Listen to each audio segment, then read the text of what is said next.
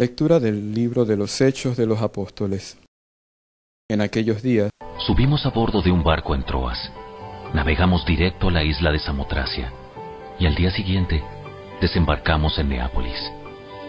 De allí llegamos a Filipos, una ciudad principal de ese distrito de Macedonia y una colonia romana, y nos quedamos allí varios días. El día de descanso, nos alejamos un poco de la ciudad y fuimos a la orilla de un río, donde pensamos que la gente se reuniría para orar, y nos sentamos a hablar con unas mujeres que se habían congregado allí. Una de ellas era Lidia, de la ciudad de Tiatira, una comerciante de tela púrpura muy costosa, quien adoraba a Dios. Mientras nos escuchaba, el Señor abrió su corazón y aceptó lo que Pablo decía. Ella y los de su casa fueron bautizados y nos invitó a que fuéramos sus huéspedes.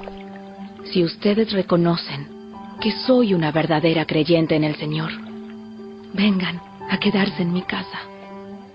Y nos insistió hasta que aceptamos.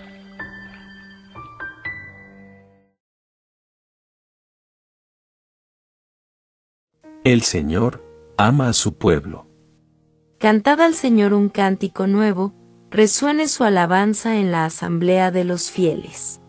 Que se alegre Israel por su Creador, los hijos de Sión por su Rey. El Señor ama a su pueblo. Alabad su nombre con danzas, cantadle con tambores y cítaras. Porque el Señor ama a su pueblo, y adorna con la victoria a los humildes. El Señor ama a su pueblo. Que los fieles festejen su gloria, y canten jubilosos en filas. Con vítores a Dios en la boca, es un honor para todos sus fieles.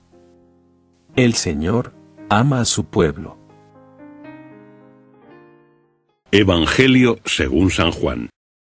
En aquel tiempo Jesús dijo a sus discípulos, Cuando venga el consolador, el Espíritu de verdad que procede del Padre a quien yo les enviaré del Padre, Él dará testimonio acerca de mí. Y ustedes también darán testimonio, porque han estado conmigo desde el principio. Estas cosas les he dicho para que no tengan tropiezo. Los expulsarán de las sinagogas, pero viene la hora cuando cualquiera que los mate pensará que así rinde un servicio a Dios. Les harán todas estas cosas, porque no han conocido ni al Padre ni a mí. Pero les he dicho estas cosas, para que cuando llegue la hora, se acuerden de que ya se lo había dicho.